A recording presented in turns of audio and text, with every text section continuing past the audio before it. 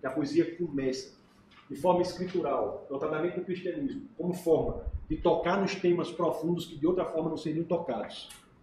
Você tem a Idade Média com relacionamento com Deus, um relacionamento com Deus, só com Deus externo, distante, hierárquico.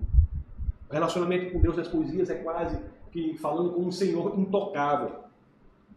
Isso na Renascença, com o advento da reforma protestante, com a posição das 95 teses de Lutero. O que nós temos aqui é que a poesia religiosa continua, mas na ideia de que o Deus não é mais hierarquicamente distante, mas sim um Deus próximo, uma relação de intimidade com Deus.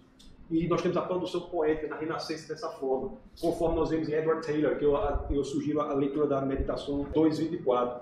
No Iluminismo, o que nós temos é a queda da poesia religiosa diante do pano de fundo cultural de que a razão é que leva à verdade e a religião leva ao mito. Portanto, a poesia religiosa cai. Você tem o enaltecimento do homem pelo próprio homem.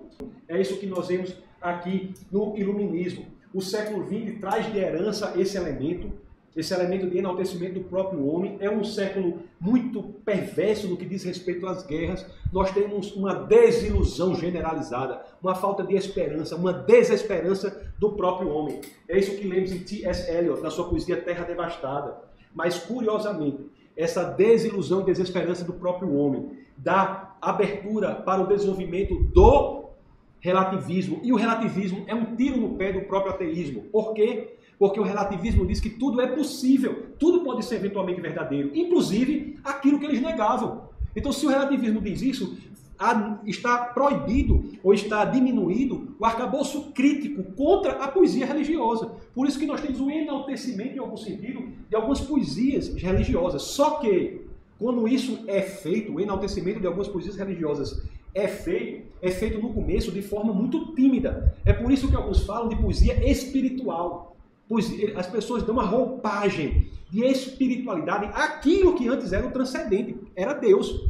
Em vez do transcendente, você tem elementos espirituais, mas mesmo assim é um início. Então nós temos essa passagem como a de T.S. Eliot, que escreveu essa poesia que eu falei depois, ao ler o livro de Russell, que dizia que o louvor do homem devia ser o próprio homem ao, ao ver a fraqueza ou a falta de estrutura desse argumento, ele repensa a sua visão de mundo e se converte e escreve poesias que retomam o elemento genuinamente transcendente. A exemplo do estrofe 4 do quarto quarteto, da poesia de T.S. Eliot.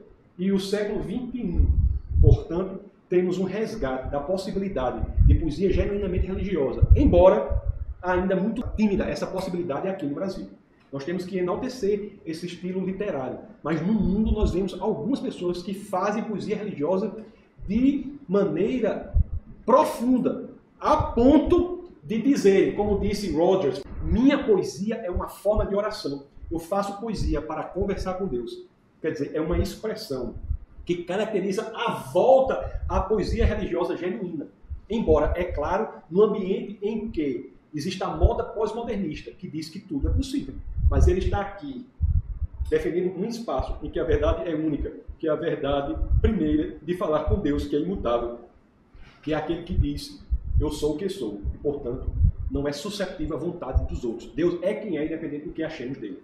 Então, esse Deus de Abraão, Isaac e Jacó é um Deus com o qual hoje é possível se comunicar pela poesia, graças a essa atmosfera que foi criada no século XXI em decorrência de toda essa história intelectual que estudamos hoje. Ok?